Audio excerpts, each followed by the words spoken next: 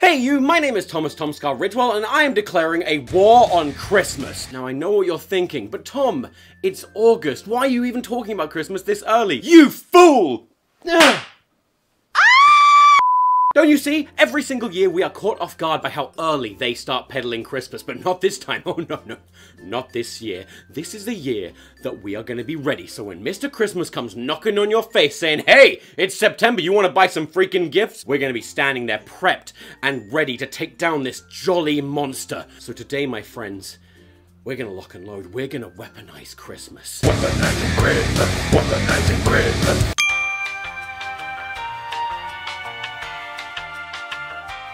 Okay, so first of all, from what I've heard, you can't have Christmas without wrapping paper. Now, I don't know what this is. Is it, a gift of sorts? I'm not sure, but this needs to be a weapon. How can you weaponize wrapping paper, you might ask? Are we gonna hit people with it? You wish it was that simple. That's why we're gonna take our good friend, the Christmas baseball bat. What you're gonna do is very simple. Step one. Okay, so we've got our Christmas baseball bat, and what you're gonna do is you're gonna keep this by your front door, so whenever any carol singers show up, you are all ready for them. So this is apparently tinsel. Now, what you can do with tinsel, obviously, is you could you can strangle people. Yeah, that's fine. But we got to get a little bit more creative. We're gonna just we we want people to be dead very fast. What you're gonna need is a couple of these hooked up to a very powerful battery. Fantastic. Oh my god, I wonder if at Christmas they're called tinsels. Okay, you gotta put this end on. Try this at home. Okay, here we go. Okay, ready? Got it. We go careful. Alright, there we go. So, now, you're good to do whatever you want with this. You can wrap it around your Christmas bush. You can put it around your Christmas house. I don't care. Anyone who touches this stuff, dead. Dead as a doorbell. Were doorbells ever alive? what Weaponizing Christmas, weaponizing Christmas. Ooh, it lights up. That's fun. Th uh, this is some stuff. Okay, I don't need, I don't need all this. I don't need this stuff. Oh, it's important to do this while it's turned on. This is a very Christmas thing, I guess. Now, what you're gonna fuse that with is a whip. Why do I have a whip? You don't know my personal life. And there you go. A proper festive treat. Yeah, look at that. Beautiful.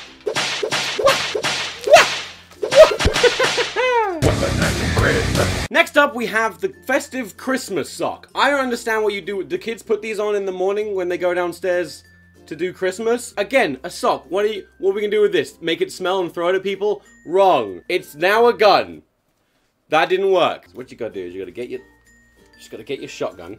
You gotta get, gotta get your shotgun, and bam! There we go. Christmas gun. What are, what are these? What is this? Ball balls.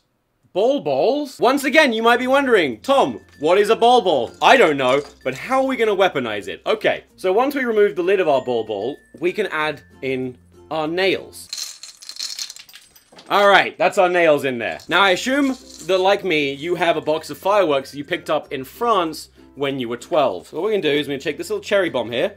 Alright, we're gonna take open the cherry bomb. Lovely. What we're left with here is the explosive filling and the fuse. And there we have it! A Christmas ball ball turned into a Christmas bomb bomb.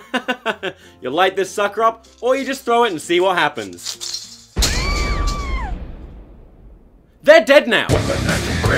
Alright, I assume this is like some kind of big sock. I don't know why Christmas has so many socks, but what's inside? It's a knife.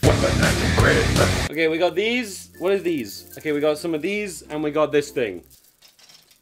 What do I... It's like a hat. Is this a hat? Is this a... Do people wear... Is this a Christmas hat? So what we gotta do is we take our Christmas hat here. A Christmas noose! yeah! Alright, I don't know what... We just... Just gotta... Alright! Yeah, that'll work. So we got this thing that says Sam Samstruk Samstruk Ureem Samstruk Ureem. We have a classic Samstruk Ureem uh, thing here. This is flimsy. Now you couldn't do anything with this of, of, of use. So what we need to do is we need to give this some real welly. So what we need to do is take our big metal chains, wrap these wrap these. This is a lot like the whip. Now this has got a little bit more weight to it, so what you can do with this, you can hang it up, uh, you know, above your above your Christmas house, and when someone knocks on the door to ask for presents or whatever the hell they do, you just cut the cables and dead. Problem solved. So this is some uh, ribbon, I guess, but oh, what's that on the end of it? It's a hammer. Everything's fine! Banana. Okay, so what we got here is another Christmas sock. Again, I get it, it's cold, but you don't need this many socks. I found this to be the perfect sheath for whatever this thing is. Uh, my choice in a zombie apocalypse, honestly. But, you know, Christmas, zombie apocalypse, same thing. What? And finally, when it's all said and done, you bury him in a shallow grave. I don't know if that's gonna work, Elliot. No, I don't trust it at all. He's not going, is he?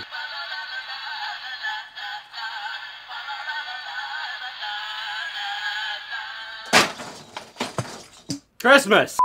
Well, that was stupid. So anyway, I've made a new book. It's called Sam Kills Christmas, and it's a picture book about our anti-hero Sam going on a bloody quest for vengeance against the evil Santa Claus. I co-wrote it with my friend Eddie Bowley, and it was illustrated beautifully by Dorina Hedowin. And it comes out in November. Surprise! This video is sponsored by me. The book has action and comedy, but it's also a little dark and twisted. Sam Kills Christmas is exactly the kind of book that I would have loved as a kid because it's not afraid to appeal to that, you know, naughty, mischievous, doodling people getting their heads ripped off and not understanding why your parents are now sending you to therapy kind of kid.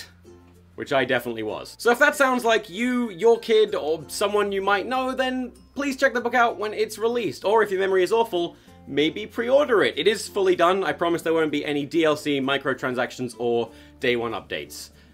Because it's a book. Now I'm gonna go unwrap this baseball bat, I guess. See you next time. TomSka out.